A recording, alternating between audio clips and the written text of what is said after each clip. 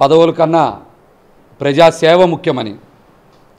రాజకీయాల్ని స్వార్థం కోసం కాకుండా సమాజ శ్రేయస్సు కోసమని ఆశయాల కోసం అశూలు బారినటువంటి ఒక గొప్ప నేత వంగవీటి మోహన్ రంగా గారికి ఈ రోజున మేము ఘనమైనటువంటి నివాళులు అర్పిస్తూ ఉన్నాం. వారి జయంతి సందర్భంగా.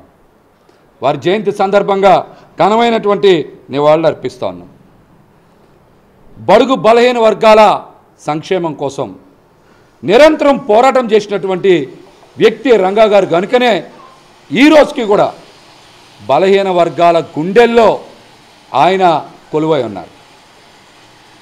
ఏది కూడా స్వార్థం కోసం కాకుండా సమాజ హితం కోసం పనిచేశారు కాబట్టే ఆయన బడుగు బలహీన వర్గాల గుండెల్లో ఉన్నారన్నటువంటి విషయం ప్రతి ఒక్కరు కూడా ప్రతి ఒక్కరు కూడా తెలుసుకున్నారు.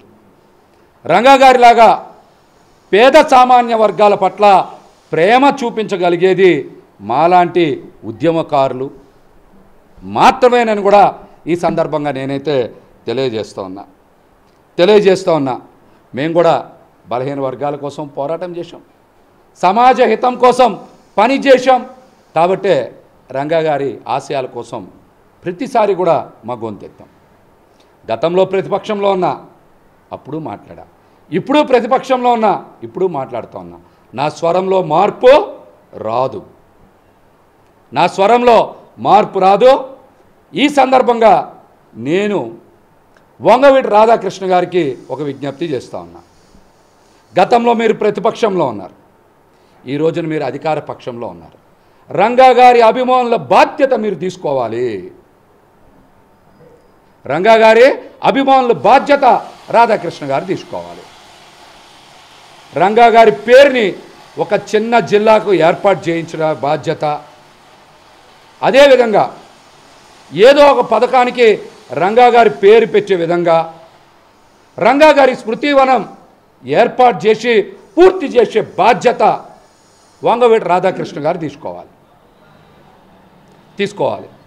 అదేవిధంగా రంగగారి అభిమానులు కూడా ఇక్కడి నుంచి రాధాకృష్ణ గారు ఈ బాధ్యత పూర్తి చేసేలాగా రాధాకృష్ణ గారికే వినతపత్రాలు ఇవ్వాలి ఎన్నికల్లో బలంగా ప్రచారం చేశారు. ఈరోజు అధికార పక్షంలో ఉన్నారు.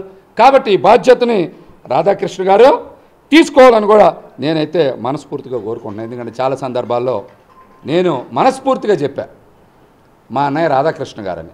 వంగవీటి రాధాకృష్ణ గారు మా అన్నయ్యని నేను మనస్ఫూర్తిగా చెప్పా. అందుకనే ఆయనకు కూడా ఈ సందర్భంగా నేను విజ్ఞప్తి చేస్తూ ఉన్నా. రంగా గారి పేరు మీద ఒక చిన్న జిల్లా ఏర్పాటు. అదేవిధంగా ఒక పథకానికి పేరు. స్మృతివనం ఏర్పాటు చేయించేటువంటి బాధ్యత మీరు తీసుకోవాలని కూడా నేను మనస్ఫూర్తిగా కోరుకుంటా ఉన్నా. ఎందుకంటే ఎందుకంటే రాధాకృష్ణ గారు ఈ రోజున అటు చంద్రబాబు నాయుడు గారికి ఇటు పవన్ కళ్యాణ్ గారికి బాగా దగ్గరగా ఉండేటువంటి వ్యక్తి. కాబట్టి పెద్దగా పోరాటం చేయాల్సినటువంటి అవసరం ఏముండదు. ఆయన వెళ్ళి మాట్లాడితే పని అయిపోతుంది కాబట్టి ఇక్కడ బాధ్యత ఆయన బలంగా తీసుకోవాలని కూడా నేను కోరుకుంటున్నా. అదేవిధంగా రాజకీయ అవసరాల కోసం ఒక సామాజిక వర్గాన్ని అందరూ కూడా బలంగా వాడుకుంటా ఉన్నారు. ఆ సామాజిక వర్గ అభివృద్ధి సంక్షేమం కోసం రిజర్వేషన్ల కోసం రాధాకృష్ణ గారు కూడా పనిచేయాలని నేనైతే మనస్ఫూర్తిగా కోరుకుంటూ మేము ఎప్పుడు కూడా ఉద్యమకారుడిగానే ఉన్నాం. పదవులు వెంటపడలా బాధ్యతగా పనిచేసాం రాబోయే రోజుల్లో కూడా బలంగా బాధ్యతగా పని చేస్తామని కూడా ఈ సందర్భంగా తెలియజేస్తా మరొక్కసారి బడుగు బలహీన వర్గాల ఆశా జ్యోతి వంగవీటి మోహన్ రంగా గారికి ఘనమైనటువంటి నివాళులు వారి జయంతి సందర్భంగా తెలియజేస్తాం.